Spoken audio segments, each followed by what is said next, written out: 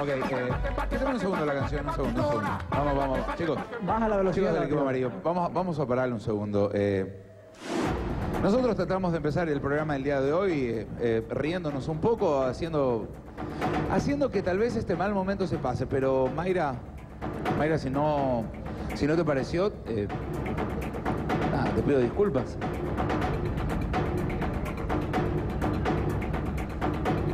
Al parecer las cosas siguen, siguen mal y no, no es solamente dentro de la competencia. Me imaginé que, que íbamos a tomar esto de otra manera. Eh, pero te veo con el mismo rostro, con la misma cara del otro día. La pregunta, ¿cómo estás?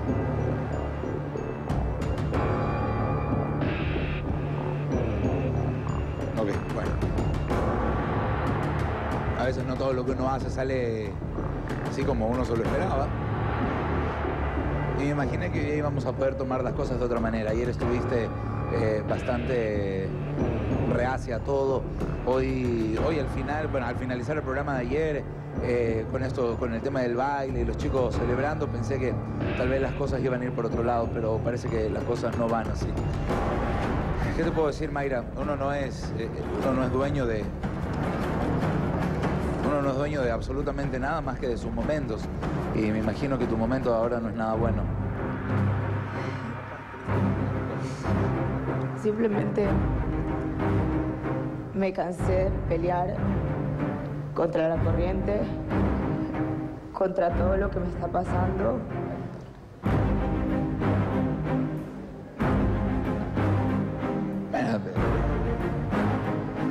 ¿Qué te puedo decir, Mayra? Eh, hemos tenido diferentes Mayras a lo largo de esta semana. Hemos visto la Mayra que, a la que le preocupan todas las cosas, a la Mayra a la que no le preocupa nada, la Mayra que se ríe de todo y a la Mayra que ahora le preocupa todo. Entonces es, es, eh, como difícil poder eh, eh, tratar contigo cuando no sabemos realmente lo que pasa. Hace unos días atrás rompiste en, llanto y la verdad que nos preocupaba a nosotros como programa, a mí como, como tu amigo, me, ponía mal y decía, ¿qué le pasa a Mayra Jaime? Incluso ahora no sé qué podría decirte.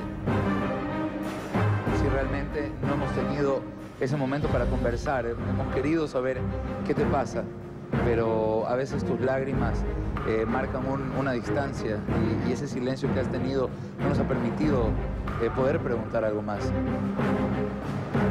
Me imagino que no debe ser fácil para que te tenga afectada tantos días, pero si de algo vale, eh, solo quiero que sepas que no hay peor problema que el que no se enfrenta y, hay que darle de frente, como te lo decía el otro día, y siempre es bueno eh, un dolor compartido, porque se hace medio dolor.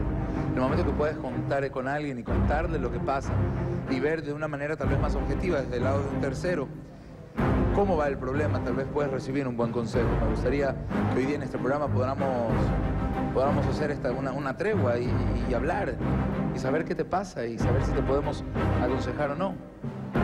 Ustedes recordarán en días anteriores, y qué pena, esto nuevamente nos desvía un poco del tema principal de Calle 7, pero habíamos hablado de estas verdades cuando la cámara se apagaba y las cosas que sucedían cuando un competidor tiene también problemas en su vida.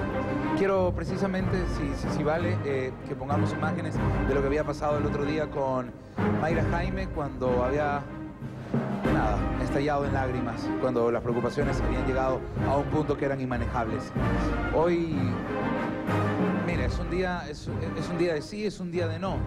El día que la vimos romper en lágrimas, el día que la vimos nuevamente como la Mayra Jaime eh, arrebatada, llena de, palabras fuertes. Pero hoy es la, la- Mayra de, de unos días atrás, la Mayra que no engrana, la Mayra que no, que todavía no conocemos.